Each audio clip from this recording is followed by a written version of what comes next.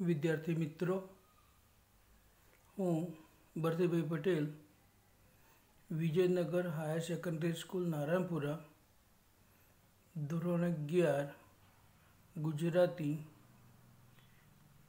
પાઠ છ, સુંદરીની શોધ. પાઠ ચલાવતા પહેલાં થોડી સૂચનો છે, તે આપ ખૂબ શાંતિપૂર્વક સાંભળશો.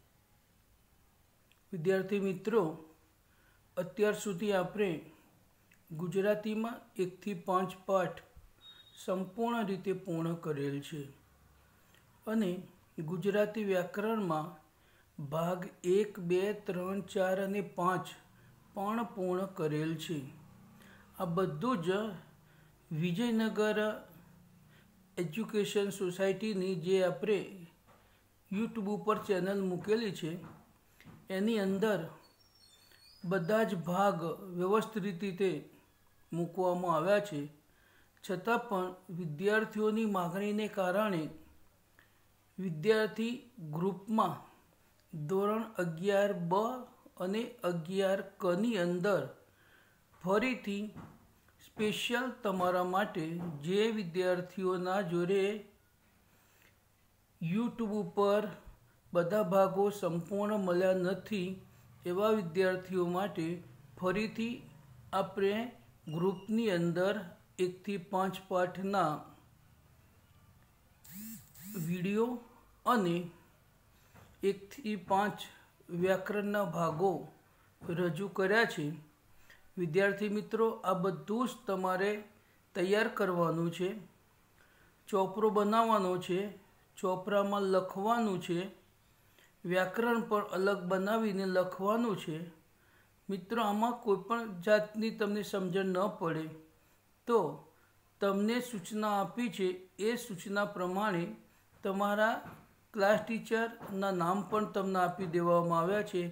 એમનો સંપર્ક કરવો અને જેથી કરીને વિશેષ માહિતી મળી શકે. પર્સનલી સંપર્ક કરવો હોય તો આવા વિદ્યાર્થીઓએ મારા મોબાઈલનો પણ ઉપયોગ કરી શકે છે.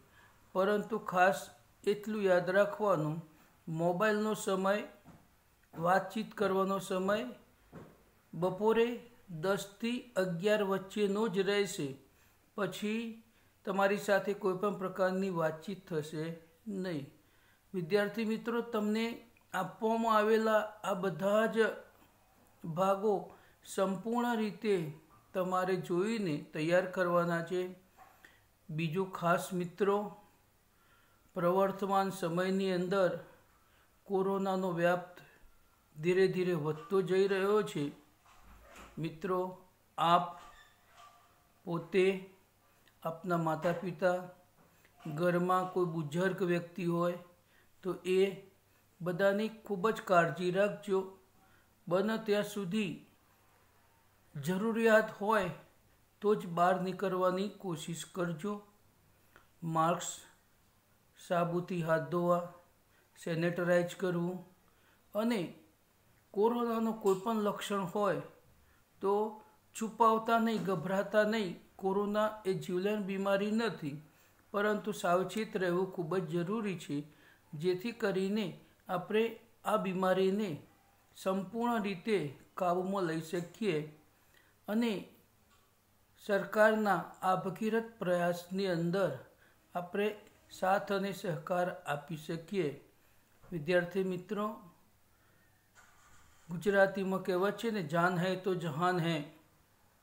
હિન્દીમાં પણ આ છે કે જો આપણે જીવતા રહીશું, તો બધું જ આપણે કરી શકીશું. માટે આવી હાડમારી, કોરોનાની હાડમારીને ધ્યાનમાં રાખીને આપ આપનો પરિવાર સુરક્ષિત રહો અને તમને કોઈપણ પ્રકારની આવી બીમારી ન આવે એવી હું પરમપિતા પરમાત્માને વિનંતી કરું છું, નમન કરું છું, માગણી કરું છું મિત્રો. ફરીથી આ પરિસ્થિતિને ધ્યાનમાં રાખીને ઘરમાં જ રહેજો, સુરક્ષિત રહેજો. બરાબર? Thank you